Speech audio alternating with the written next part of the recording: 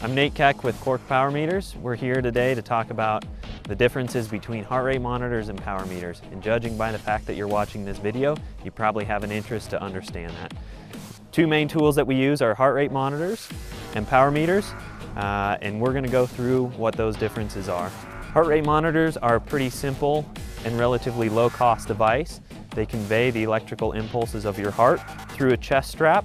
The downfall to heart rate monitors is that there's a lot of outside variables that can affect them.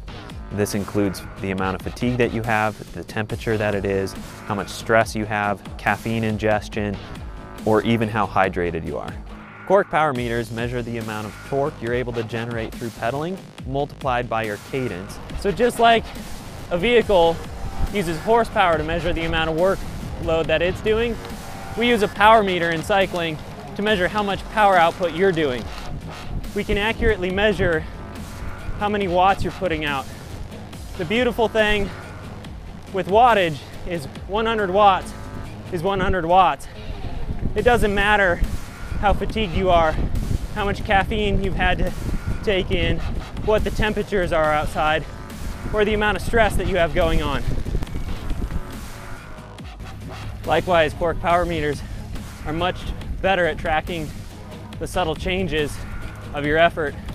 For example, you may be holding a steady pace at 250 watts at a heart rate of 160 beats per minute, but you sprint at 1,000 watts Meanwhile, your heart rate may only increase 15 or 20 beats per minute.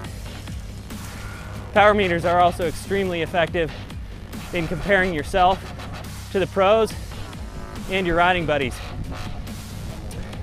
You may be able to sprint somewhere around 800 watts. Meanwhile, some of the best sprinters in the world are gonna be upwards of 1400 watts.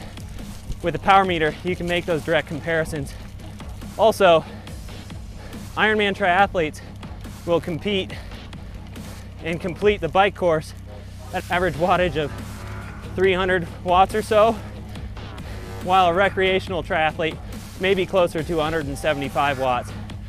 Power meters allow you to understand these subtle differences and changes and track your progress better than any other measurement tool on the market.